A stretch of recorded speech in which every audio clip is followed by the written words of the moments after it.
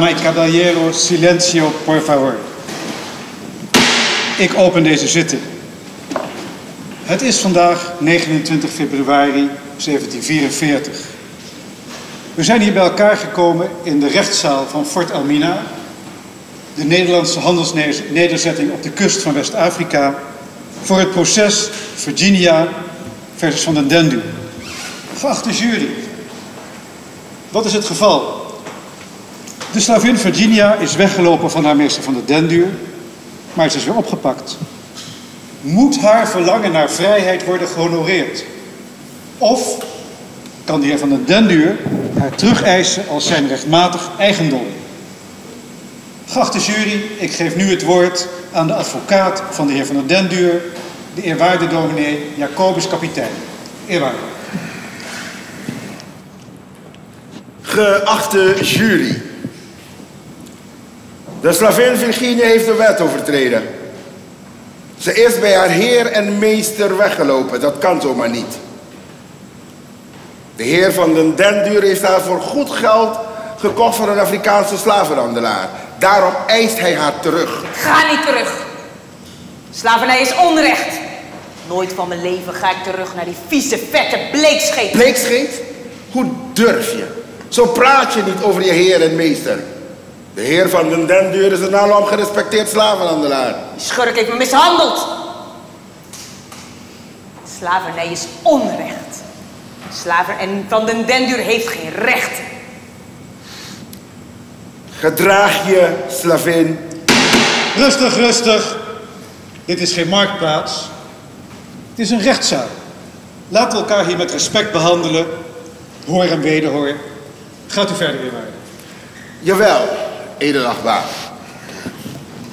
Mijn cliënt, de heer van den Denduur, eist Virginia terug als zijn rechtmatig bezit. Ze is niet alleen weggelopen. Ze heeft kleren van haar meester gestolen. Ze heeft kwaad over hem gesproken. Ze gedraagt zich oneerbiedig. Ze veroorzaakt straatrumoer. Kijk hoe ze hier in de rechtszaal tekeer gaat. Ze verdient 14 touwslagen. Ik verdien helemaal niets. Belachelijk, ridiculum. Niets anders dan mijn vrijheid. Van den Denduur heeft geen rechten. Ik verlang naar mijn vrijheid. Laat me teruggaan naar huis. Naar mijn familie. En mijn liefste koffie. U vergist zich. De heer van den Denduur heeft wel degelijk rechten. En op dit terrein ben ik bij uitstek deskundig. Ik ben gepromoveerd op een theologisch proefschrift over slavernij. Daarin toon ik aan dat het christendom slavernij toestaat.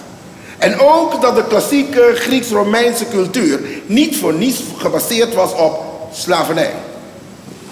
Leden van de jury, laat ik nu de advocaat van Virginia bij u, bij introduceren. De beroemde Engelse filosoof John Locke. Zeer geleerde heer, aan u het woord. Dank u, edelachtbare. Naar mijn overtuiging is slavernij bij uitstek onrecht. God heeft alle mensen gelijk geschapen. Slavernij is dus onverenigbaar met de natuurlijke rechten van de mens. De echte schuldige is van der den duur. Ik beschuldig hem van onrechtmatige vrijheidsbeneding. Virginia moet derhalve onmiddellijk in vrijheid worden gesteld. Ja, niet alleen ik, maar ook alle andere slaven. Wij verlangen onze vrijheid. Ho. Nos libertad, Ho, nos ho, ho. Wij verlangen onze vrijheid. Ja. En wie zijn wij? Onder ons Afrikanen is slavernij heel normaal. Virginia, jij bent zelf tot slaaf gemaakt hier in Elmina door een Afrikaanse slavenhandelaar. Die heeft je hier in Elmina afgeleverd. Dat is mijzelf vroeger ook overkomen. U ook? U was zelf slaaf en toch pleit u voor slavernij? Eerwaarde. Ik ben hier in de binnenlanden opgegroeid. Men noemde me toen Assar. Ik was een jongetje of acht. Toen Afrikaanse slavendrijvers ons dorp binnenvielen. Ze hebben me uit mijn ouderlijk huis geroofd. Ik werd geketen en in een lange rij slaven naar Elmina afgevoerd. Ja, dat is mij ook overkomen. Ja, dat klopt. Jij en ik hebben hetzelfde lot ondergaan.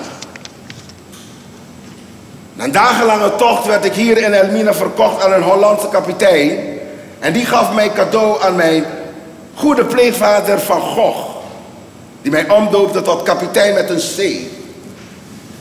Van Gogh nam me mee naar Nederland waar slavernij verboden is. Door hem ben ik nu een vrije man.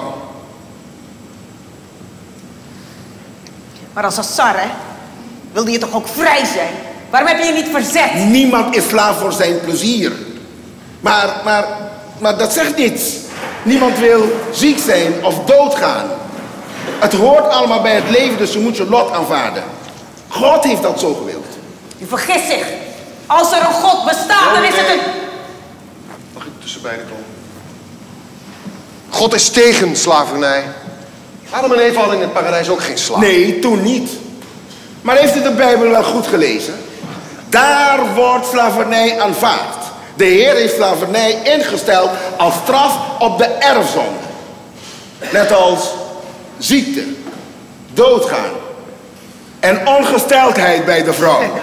Ongesteldheid bij de vrouw. Hoe kan zo'n onvolmaakt... Hoe kan zo'n volmaakte God...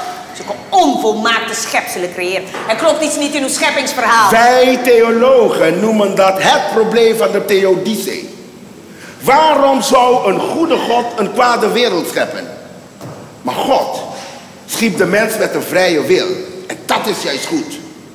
Maar dat geeft ons wel de mogelijkheid om voor het kwade te kiezen. Als we allemaal een vrije wil hebben... Hoe kan God dan willen dat wij in slavernij leven? Precies. Dat is onlogisch, eerwaarde. Geachte jury. God wil helemaal geen slavernij. Lees het maar in het Nieuwe Testament. In Corinthians 2, 3, 17. Waar de geest des Heren is, is vrijheid. Met andere woorden, een christen hoort geen slaaf te zijn. Wel nee, Paulus doelt daar uitsluitend op geestelijke vrijheid. Al is een slaaf lichamelijk onvrij, toch kan zijn geest vrij zijn. Ook een slaaf kan voor het goede kiezen en verlossing vinden bij Jezus.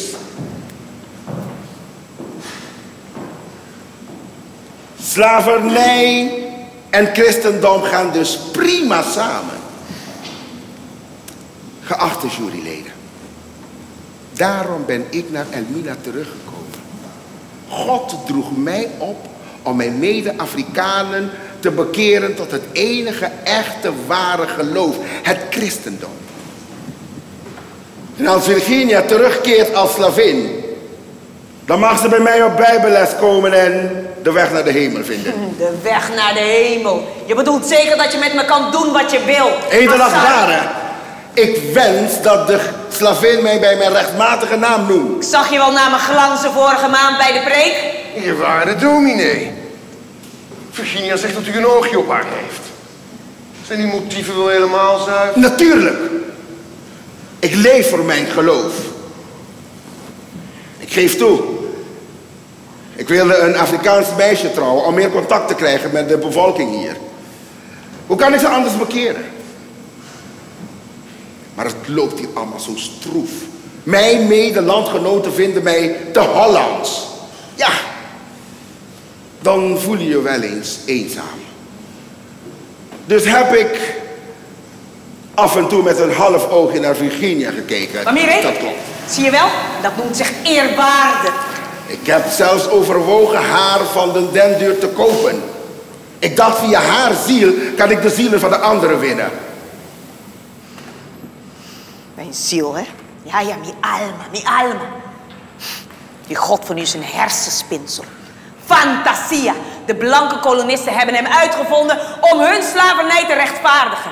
Assar, keer terug naar de geesten van je voorvaderen. De blanken hier vinden het niet goed dat ik met een zwart heidens meisje trouw. Het Amsterdamse kerkbestuur dringt erop aan dat ik een christelijke vrouw vind om me te beschermen tegen de verleiding van Satan. Dus stuurde voor zieligheid mij een blanke bruid uit Den Haag. Antonia Ginderdros heet ze. Volgend jaar trouwen we. Dus Virginia heeft niets te vrezen. Althans niet van mij. Meneer Lok, volgens mij heeft u zelf een oogje op Virginia. Waarom bent u anders helemaal hier naar Elmina teruggekomen?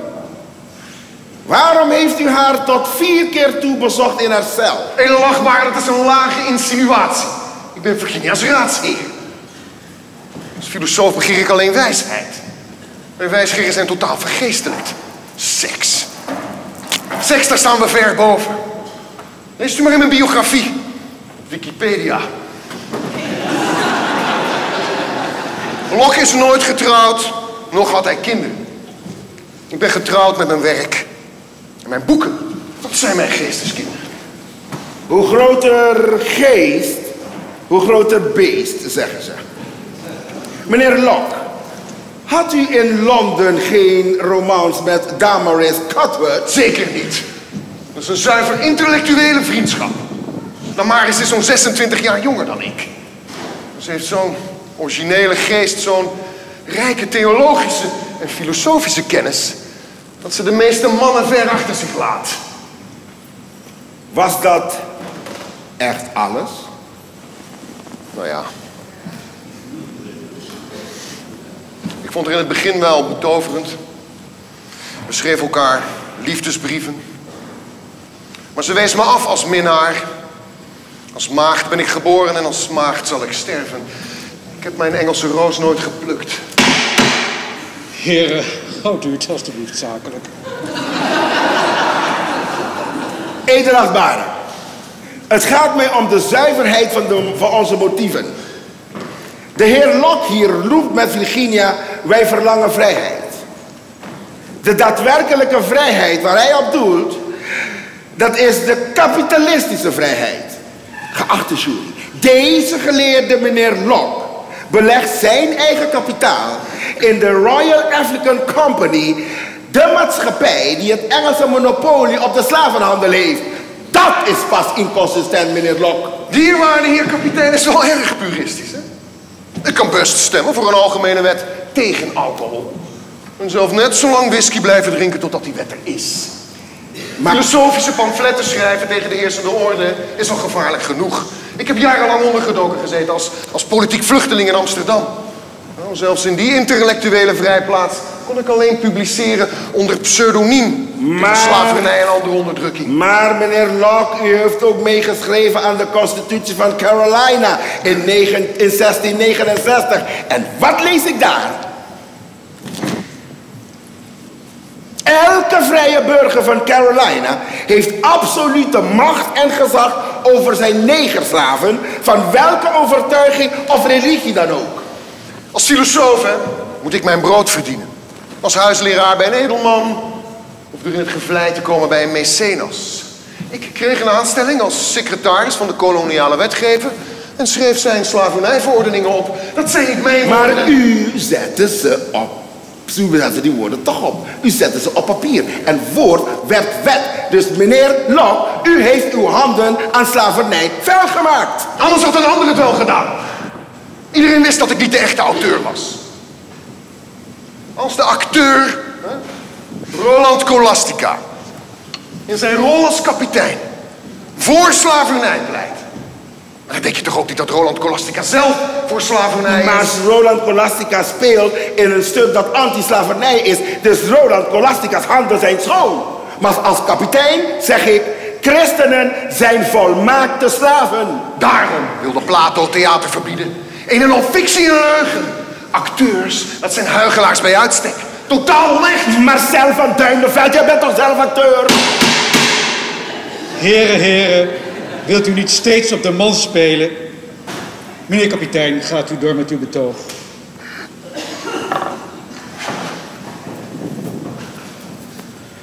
Ja, zeker, edelachtbare. Ik baseer mijn argumenten vooral op het christelijke evangelie. Maar ik wijs erop dat de slavernij ook al bestond in de klassieke oudheid. In de Griekse Romeinse beschaving.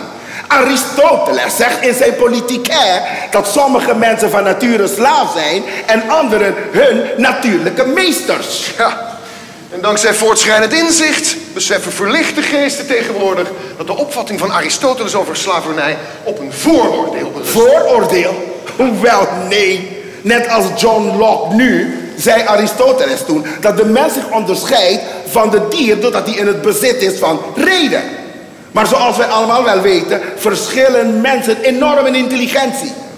De rechtvaardigheid gebiedt zulke ongelijke gevallen ongelijk te, te behandelen. Alleen vrije Griekse mannen zijn bij hun volle verstand, leerde Aristoteles.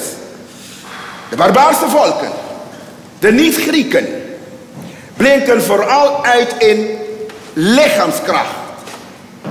Dus ze, bezi- ze bezitten een natuurlijke aanleg tot slavenarbeid. Kijk, dat bedoel ik nou hè, met een vooroordeel. Tegenwoordig noemen we zoiets etnocentrisme. Elk volk denkt dat de buurvolken barbaren zijn. Toen ik in Nederland zat ondergedoken, vertelden ze me deze Belgenmop. Een Nederlander vraagt een Belg te kijken of de richtingaanwijzer van zijn auto het wil doen. Ja, hij doet het. Nee, hij doet het niet. Ja, hij doet het. Nee, hij doet het niet. In 1685 was de Amsterdamse grachtengordel autovrij. Edelachtbare, het moet wel serieus blijven. Wilt u alstublieft de heer Lok tot orde roepen? Een vooraanstaand geleerde als de heer Locke zal een goede reden hebben om zich zo uit te drukken.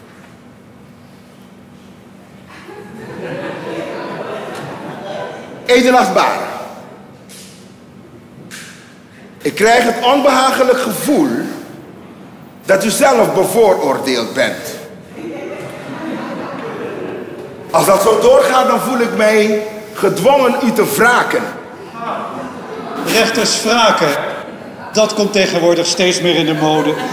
Vooral bij, bij ad- advocaten van kwade zaken. Geachte jury, als ik de indruk wekte dat ik hier kwam om de heer Lok te prijzen, dan voeg ik daar meteen aan toe. Maar meneer kapitein is een achtenswaardig man.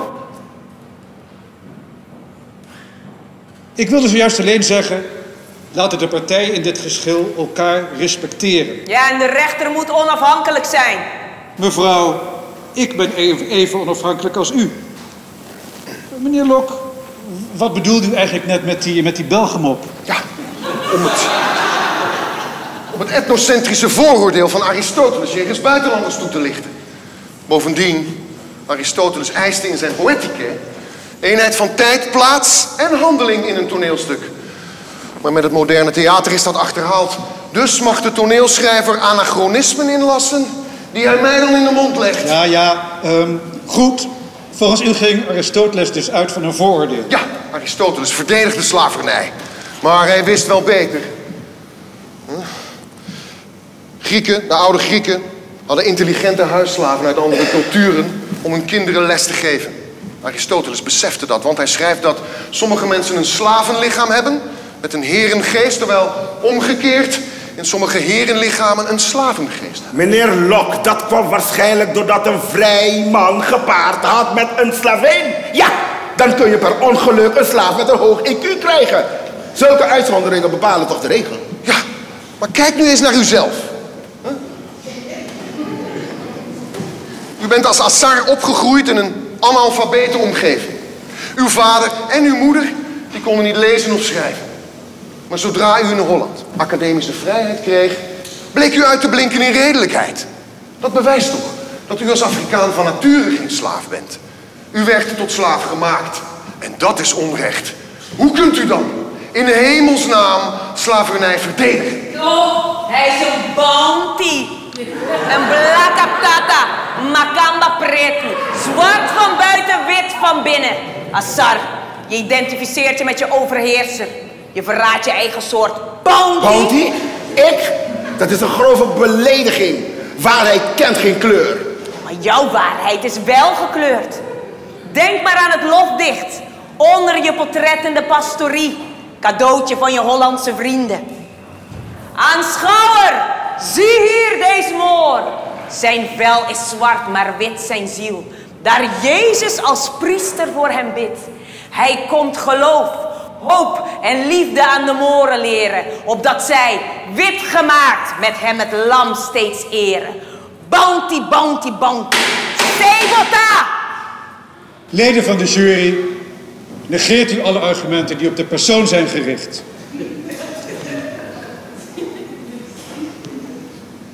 Zwart zijn vel. En wit zijn ziel.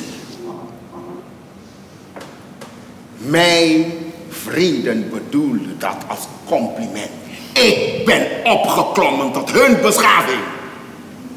Virginia, neem jij daar een voorbeeld aan?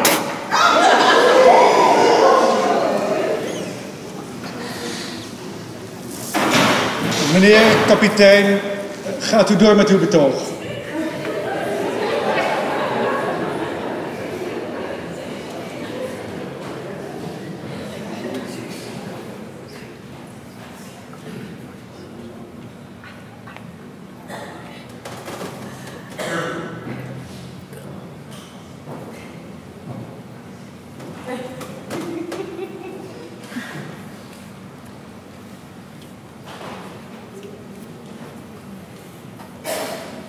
Jury. Ik kom nu bij de middeleeuwen. Bij Thomas van Aquino. De katholieke filosoof. Die bouwde voort op Aristoteles. God heeft alles een doel gegeven.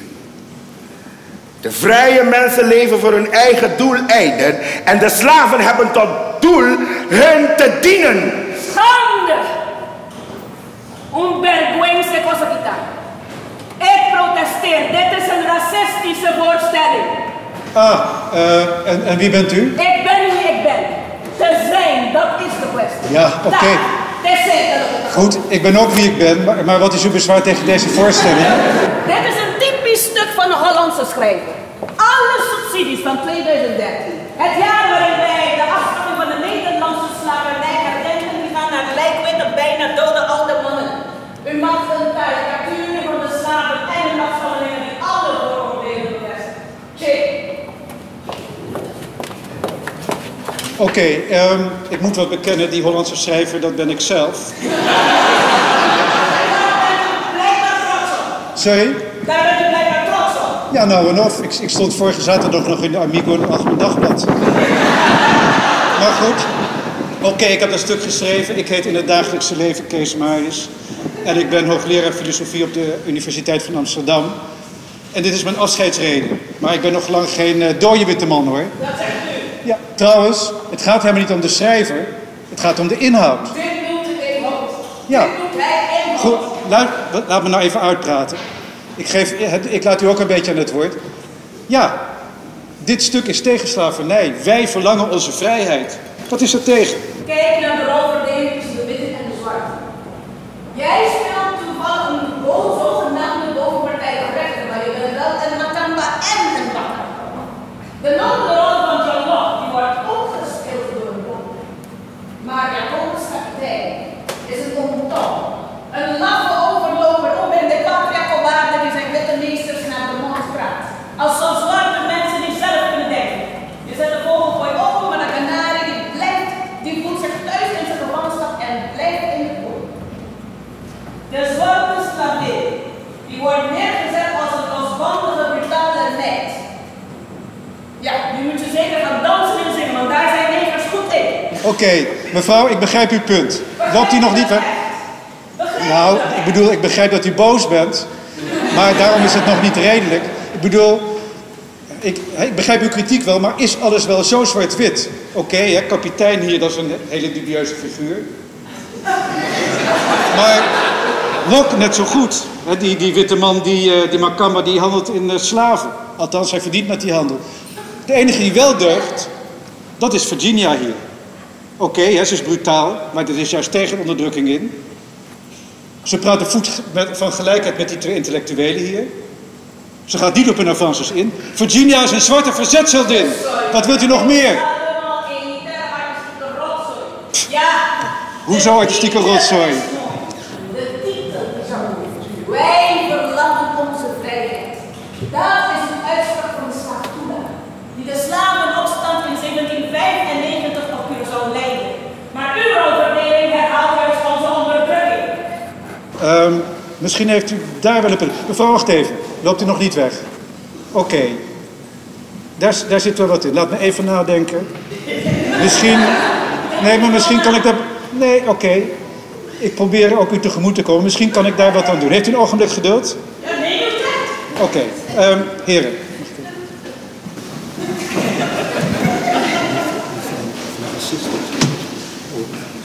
Oh, perfect. Prima. Marcel, die vrouw die vindt ons racistisch. Ja?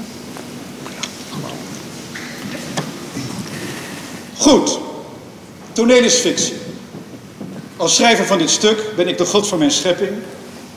Mijn personages, kapitein en Lok, hebben geen vrije wil. Weet u wat? We, ver- we ver- sorry, we verwisselen de rollen. Dus Marcel van Duinenveld, die speelt voortaan kapitein. En Roland Ehm help me even. Roland, hoe heet je? Scholastica, alsjeblieft. Hij het? Dus we hebben, heel- we hebben hier op input. Oké, Roland, hou, je, hou nou even je rustig. Hoor en wederhoor, dus nu, e- nu ik even. Roland Colastica, die speelt voortaan John Locke. Heren, mag ik u verzoeken? Ja, hopelijk komt er eindelijk schot in de zaak. Het recht moet zeker vieren. Hoe stiet zet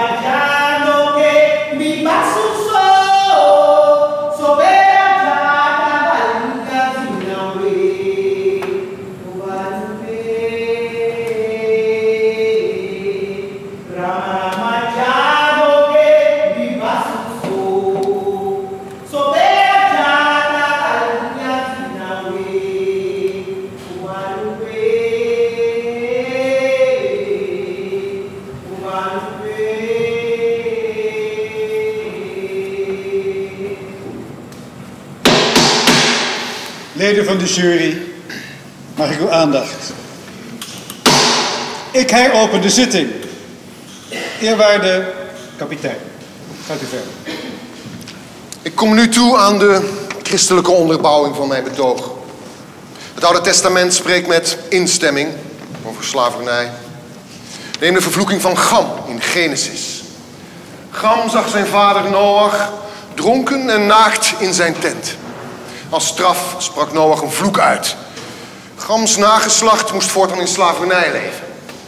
En omdat Gam een donkere huid had, rust de vloek der slavernij op alle zwarte Dat Afrikanen. is onlogisch. Dat is onlogisch. Lieve heer van jullie zou zo'n buitensporige straf toch nooit toestaan? Noachs slavernijverzoeking is wel rationeel. De Bijbel is alleen discreet. Genesis zegt dat Noach zich in zijn tent ontblootte. Volgens schriftgeleerden is dat een eufemisme voor seks. Waarschijnlijk was Noach niet alleen naakt, maar masturbeerde hij ook nog. Of Gam bedreef sodomie met zijn vader.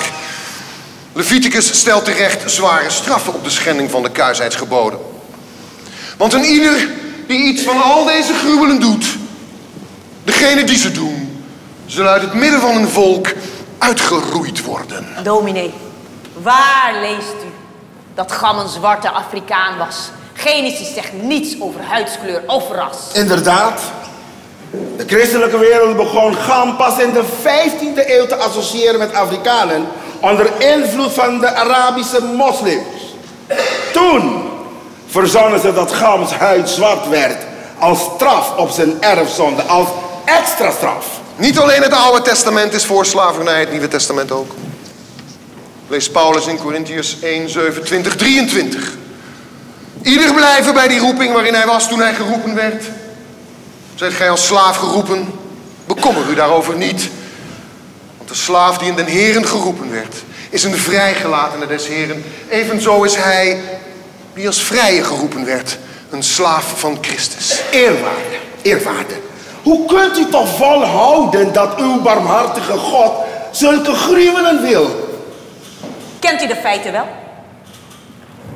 Tijdens zo'n dikke 300 jaar koloniale slavenhandel zijn minstens 10 miljoen Afrikanen van Afrika naar Amerika verscheept. 3 miljoen. Er zijn minstens 30 miljoen Afrikanen ontvoerd. Wie biedt er meer? Kunt u dat bewijzen? Orde! Ik bepaal later hoe de bewijslast wordt verdeeld. Het gaat in ieder geval om miljoenen Afrikanen. En het Nederlands aandeel is minstens 5%. Een half miljoen slaven. Ze worden in nauwe scheepsruimtes aan elkaar vastgeketend.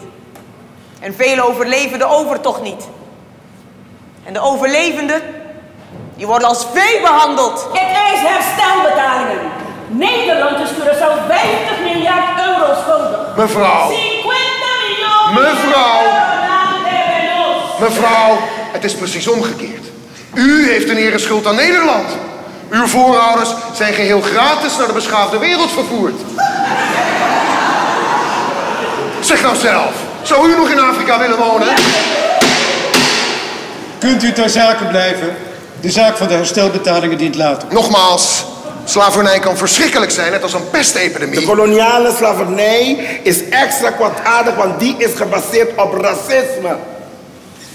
De Antilliaanse neger is slaaf van de hem opgelegde cultuur. En nadat hij eerst slaaf was van de blanken, wordt hij nu slaaf van zichzelf. Dames, dames en heren, dames en heren van, dames en heren van de jury.